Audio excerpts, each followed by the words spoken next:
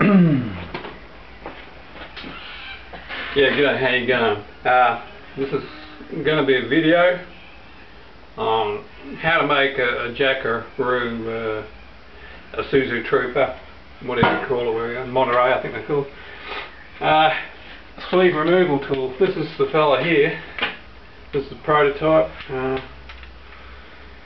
they're uh, relatively straightforward to make and also essential if you want to remove the injector sleeves on a uh, Suzu 4JX1 diesel as you'd know if you've got one. If you've got a problem with the injectors, which most of them have at this stage of their life, simple job to fix if you have a look at my other video on uh, removing the things and uh, this is a new designer tool uh, this is a very very good tool. I'm going to show you how to make it because I'm not going to make it for you. Okay? Uh, that is a piece of steel that is uh, the same size inside as the injector sleeve in the, the Suzu head but I'm not going to keep ragging up Suzu injector sleeves to test the tool. So I've made that and it sits in test jig and I use it to test the pull strength of these tools. Now the way this works to show you what we're going to be making is uh, there are uh, two bits of steel two bits of flat mild steel that run down the middle of the tube. That's what we've got. Okay? You'll see? Two bits of flat mild steel. That's uh, 13 millimeter by 3 millimeter flat mild steel. It's had the edges ground off. You could file them if you haven't got a bench grinder.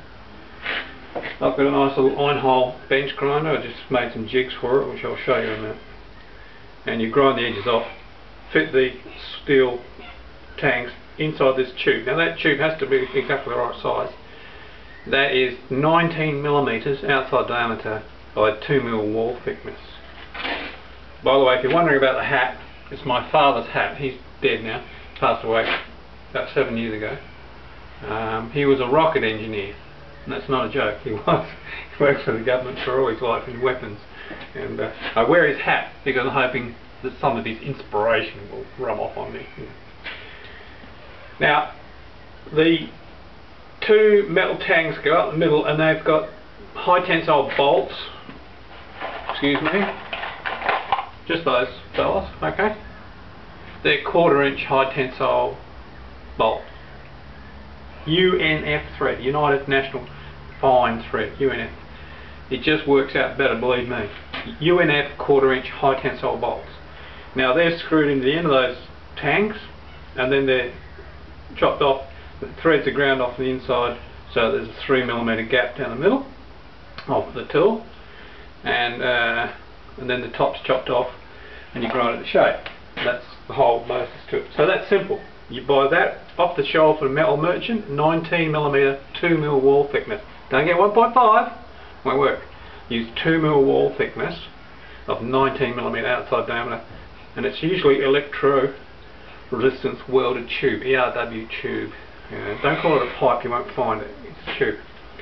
Now the outside of the tube has had a, a die run down it, just a die bowl on eBay if you haven't got one. Three quarter inch UNF. Don't use any other size, don't think you've got a metric thread, won't work. Three quarter inch UNF, exactly the right size. It leaves enough meat on the body to maintain the strength of the tool and it gives you plenty enough strength and binding in the thread so that it extracts really well. Okay, now you cut that thread down and uh, that's the hard part and that's 60 millimeters of thread so that's what you do. So that's the actual part. Now, these jaws here are ground around, they're ground to a, a radius like this which I'll show you in a minute to um, the exact width of 21.5 millimeters across there. They have to be 21.5 millimeters outside diameter, no more, no less, because if it were more they'll stick out in the in, in the sleeve, beyond the sleeve perhaps in some cases, and they may scratch the aluminium bore in the head, which would wreck the whole head. it's a thousand dollars just for an aluminium blank, and then there's all the work involved pull the in. Um, so you don't want them sticking out more than 21.5 millimeters overall. The end of the tube has to be turned down a little because that tube is 19 millimeters, 19.025 on the average, but it's just a manufactured tube and it a little. Um, and uh, the inside of the sleeve is 19 millimeters exact, all, all ones. So uh, that'll be an that'll be a, a, a press fit if you put it in there. You don't need to get the blood out again. Also, it's very hard to get in. So you machine you machine that down now. You can do it in a hand grinder. I did this in a little simple way. I'll show you a bit later. Uh, I just turned that down. That's 18.5 millimeters in diameter for that last 30 millimeters of the tool. You know? um, then it fits nice and easily into the body of the, the sleeve when you put it in there. You want a bit of slop, you know, because you, you don't go in perfectly straight when you're putting it in. You don't want to have to, you know, you just want it to slip in there. But it's important that those dogs must be 21.5. If you have less than 21.5, then they won't engage enough. As it is, there's only 1.5 millimeters of engagement maximum. 1.25 is the average. And that's proven to be more than sufficient because they're high tensile dogs. So the prior tool, previous tools I made, uh, you had to make the body of the tool as well as the tangs out of high tensile spring steel. Uh, and that's very expensive and it's very hard to work with. But this is all mild steel. The only hardened steel is that, those little dogs there. Now, in the middle of the tool, you use a bit of mild steel flat, okay? And you bend a nice handle on it. Nice little 90 degree handle, so you can see that. Uh, you drill a couple of holes in it, we'll get into that. and that is the locking tang. So you, you put that in there, and that just goes up the middle like that, okay? Show you that again. That nice sound? Click. Now, the trick is, you've got a standard merchant bar, you know, nine, uh, 13 by 5 flat mild steel, you've ground the edges off, you ground the edges off there, you've got the two bits in there, you, you, fit them in there, I'll show you this as we go along. Then you've got to be able to get a nice fit for the locking tang to go through. Now you don't want it too sloppy, I suppose it could be, but the further the fit you have in here, the less distortion you get when the thing's being pulled really hard. And don't kid yourself, there's a lot of force in this when you start pulling it, you know. This tool was designed so that one dog, if it just catches on one dog, if the holes in the sleeve are drilled out of level, I don't know how accurate I usually were on drilling them because they're only for fuel, you know, they're not they're required to be in a precision place, only if you end up in a fuel gully. Um, if it only pulls on one side, that's 700 kilograms of capacity before it shears off which has proven to be more than adequate with the work that I've done and I've done some tools, that, some sleeves that were actually very very hard to get out. So I'm sure they can be harder but that's 700 kilograms. If you get a bite on both sides which is the advantage of having that a little bit sloppy because it'll it'll even out the force and it'll land on both dogs even it has to go a bit uh, then you've got a maximum pull strength on this tool a design strength of 1.4 tons pull. Now if your sleeve doesn't come out with that much force Ah, take that off. But it will, it will. I mean, that's a lot of pulling force. It's only, you know, 20 mil, 90 millimeters in diameter. Um, so in operation, the tool is like this. You, you, you've, um, the way I've designed it is that the uh, the top of the tool, you just use that top hole and put a locking pin in here. This also stops torsional twisting in the body and it holds the body of the tool together so it doesn't tear in half there with the forces involved because it's uh, a little bit thin there. Well that's the obvious point of stress in the tool if you look at it. And I don't want it to rely on that and pull down. It actually pulls through the body like that way. That's a, sort of like an L shape if you look at it and the transfer of force. And it actually gets transferred up to the top here so what happens is that this tool body is actually being compressed by the force rather than stretched. So obviously that's mammothly stronger than you need. Now to insert the tool you just slip your locking tang into the top of the tool just a, a nose there, I drill a hole there at the nose and whack that in there. Then when you're inserting it in, you know, imagine that's down in the head of the engine and you, you push this fella down and voila, that's in. See that's clicked in. Okay? Now that's actually very reassuring when you're working down there in the recess of the head between the camshaft, you can't see what's going on, you can actually feel it click in. Now when you're working with it you'll be able to do that and you'll feel that it feels locked in.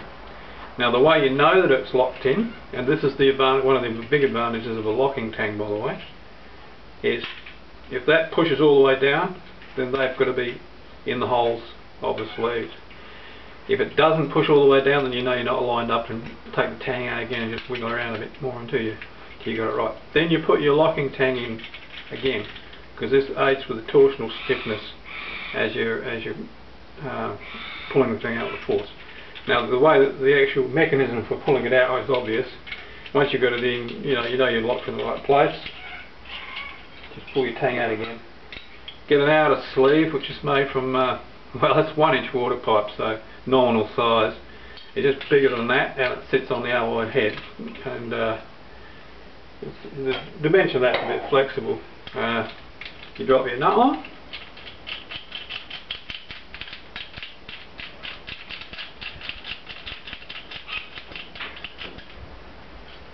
which has been cut on nice and ni nicely so that it's smooth right and uh, um, put your locking tang back in I put a couple of punch marks in mine so because it tends to fit better one way than another because uh, it's not done in you know any fancy machinery so because things are mated together by hand you know um, with uh, sandpaper and uh, you know files and that kind of thing. Um, the fit tends to be better one way around than another, so I just punched a couple of little holes in there so I know that's the right way around from this tool. It gets better as you use it more, but uh, hopefully you won't have to use it too often. Um, although these tools do tend to get lent out quite a bit. So you put your locking tang down, okay, and then put your torque bar in. Uh, and then that's in the head, and then you just get a, a big spanner and start to do the nut And that provides a phenomenal amount of pull. As I say, that actually that thread can pull a lot more than, than those dogs can handle, but those dogs can actually handle 1.4 tons of pull that way before they give way. Okay? Now that will pull the sleeve right out of the head quite successfully, you know. Uh, and you use the 60 millimeters of thread there. You could make it longer if you're feeling enthusiastic the 60 millimeters is enough to pull the sleeve out and uh, then you pull the sleeve out you know now when you've got the sleeve out you'll find that there it is you think oh crap how do I get my, my tool back uh, how do I get it out of the sleeve so um, I, have thought of all sorts of fancy ways in fact you notice I've drilled holes in the outer sleeve and I put threads in them so you can put bolts in there to just screw the two dogs back in uh, once you've got the locking tang out I did show you the spring mechanism, did I? Yeah, okay. I'm going to do that. Locking dog out, take your outer sleeve off. I just get a bit of 6 mil wire and bend it into shape. You can probably do a little bit better than me. This is a prototype, I remember. Okay, now, uh, just put it in there like that. Uh, press the locking dogs in, and out she comes. Okay, and that's it. So, just to recap, you've got your outer sleeve, goes on there. You've got tangs, pins sticking out, nice 3mm gap down the middle. That's the locking tab, tang I call it, okay? And uh, it's made out of 16 by 3 flat that one. So I left it at 16 all the way down to there, just I've got a little shoulder in there so that you, it stops there. Now the reason why is because, uh, I'll try and show you this. We'll let the camera adjust uh, and focus. I don't know what it does. You notice here there's a bit of white stuff. Looks like bird crap. Okay? The screeching in here in the background by the way is uh, Australian sulphur crested white cockatoos. I've got a flock of a thousand of them been hanging around for three months and they're nesting and they're protected species and they're beautiful but they make a hell of a row. This is silicon rubber. Uh, got a bit here Right, now you could use Silastic, you know, um, that you use for making engine gaskets, you know, rubber gaskets. But I just use ordinary plumber's uh, what was it, antifungal acetic cure silicon sealant, okay? Black would be prettier, you know.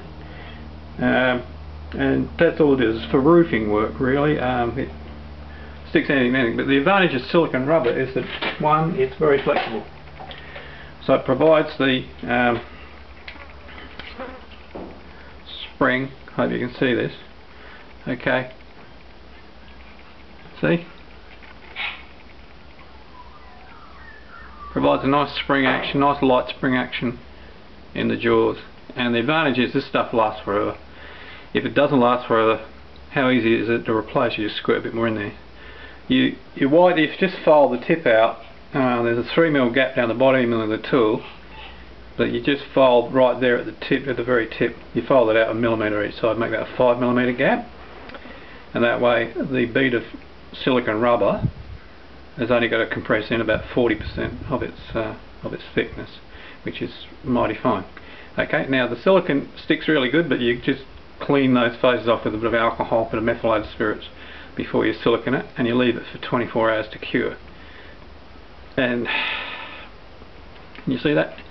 Now this is all that's required to maintain the spring action. Now also at the same time uh, just to give you a little bit of that added security in the whole operation with steel with steel tools with anything in steel it's good to hold things in their right place keep them parallel and uh, whatnot. So I put the locking tang in the bottom hole of the, of the tang like that put the torsion pin in so this is a 3mm gap and it's running up for about 170 millimeters. And there's also a bit of spring in the actual mild steel but you wouldn't want to do much more than that because what happens is the more you bend mild steel obviously it takes that shape you know and it will be permanently bent in then. And that would be a pain in the neck you know because uh, you won't have these sticking out as far. Still work but just makes it harder to work with you know. You want that to have a nice clicky clicky thing going on. So when it's out and it's locked in there again then up she goes. That's it, locked. And there's no way, Jose, that those dogs can be pushed in. And that's why you have a locking tang. As you're exerting this huge force to pull the sleeve out, do that the right way around, um, there's no way that those fellas can be pushed in. And that little 1.5 millimeter wide lead there, and it holds a real lot. So that's how the tool works. Okay, so now we'll just go a bit on uh, how to um, make it.